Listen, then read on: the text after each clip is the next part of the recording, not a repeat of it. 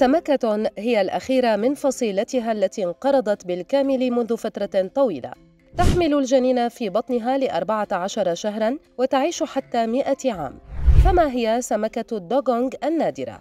غواصون مصريون رصدوا ظهور سمكة نادرة مهددة بالانقراض في منطقة أبو دباب قرب سواحل مدينة مرسى علم بمحافظة البحر الأحمر. الدوغونغ أو عروس البحر ليست مثل الأسماك الأخرى، فهي من الحيوانات الثديية في البحر الأحمر. تتنفس في الهواء الجوي وجلدها مغطى بالشعر وتعيش بالقرب من السلاحف والدلافين. وبحسب أشرف صديق محمد أستاذ المصايد البحرية بالمعهد القومي لعلوم البحار فهي تتناول ما يقرب من 40 كيلوغراما من العشب يوميا وترعى صغارها لمدة عامين.